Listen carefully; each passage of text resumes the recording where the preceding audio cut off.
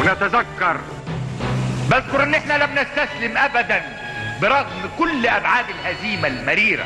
لم يمضي أربع أشهر وفي 21 أكتوبر إلا وكانت بحريتنا المجيدة بتضرب لأول مرة في تاريخ البحرية العالمية أول صاروخ على أكبر قطعة في الأسطول الإسرائيلي. كتب التاريخ. ان اول صاروخ في تاريخ البحرية العالمية. كان مصريا أطلقه مصريون وتغيرت استراتيجية الحرب البحرية. بعد ذلك من القطع الكبيرة إلى القطع الصغيرة. قبل المعركة لما كنت بلتقي بيكم في اسرابكم وفي سكناتكم أنتم والقوات الخاصة قوات الدفاع الجوي في مرابطها وفي أماكنها قوات الجيشين الثاني والثالث في مواقعهم. لن أنسى ابدا يوم 5 يونيو 73 ومن المواقع المصرية على حافة القناة كان التلقين النهائي لكل قائد بعد ما شرح لي كل واحد منهم خطته على سيناء قدام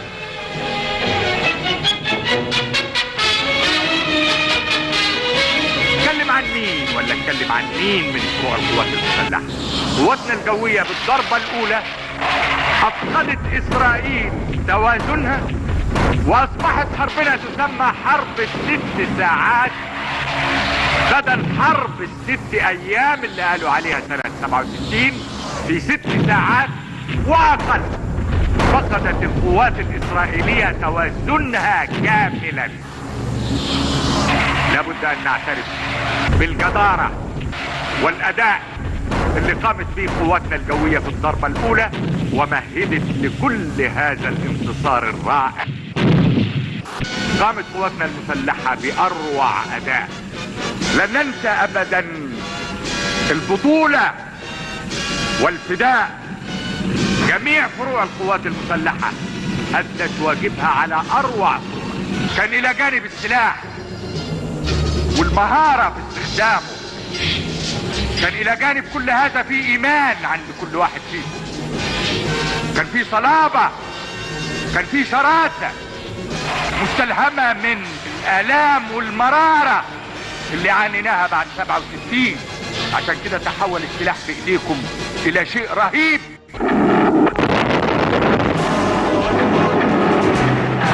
أذكر وأنا في غرفة العمليات يوم 6 أكتوبر.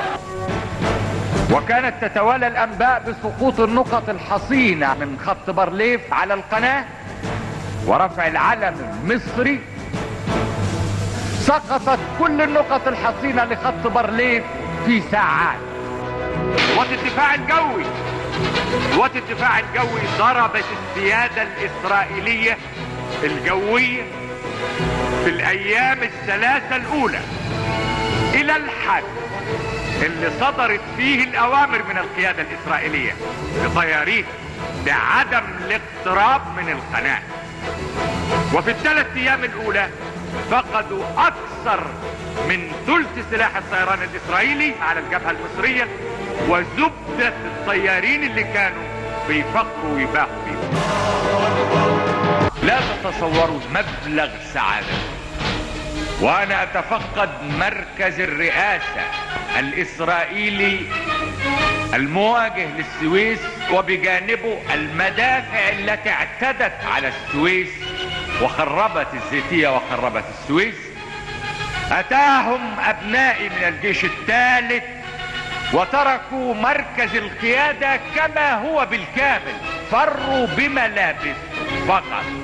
أين ذهبت نظرية الأمن الإسرائيلي التي حاولوا إقامتها بالعنف تارة وبالجبروت تارة أخرى طوال خمسة وعشرين سنة؟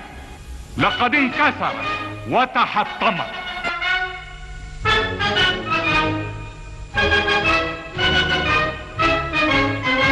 أحمد الله فقد كنت واثقا أنني سألتقي بكم وتحت أعلام النصر ففي آخر لقاء لي معكم ذكرتكم بأن شرف مصر أمانة في عنقكم ولقد أديتم الأمانة. وصنتم الكرامة. ليس لمصر وحدها وإنما لأمتكم العربية بأكملها. يأتي اليوم ونحن مرفوعة هاماتنا مرتفعة راياتنا. أبناء الجنود والضباط ليت مصر كلها معي اليوم ليت العرب كلهم اليوم هنا. ليروكم ويفخروا بكم كما أفخر بكم اليوم.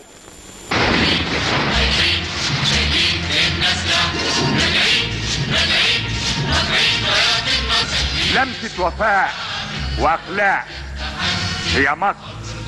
مصر الوفاء مصر الاخلاق مصر الحب. إحنا طالعين بأكثر من 85% من أسلحتنا سليم. أنا فخور بيكم يا أولادي. فخور بكل إنسان فيكم. فخور بشهدائنا. فخور بالروح اللي دخلتم وأديتم بيها أدائكم القتالي.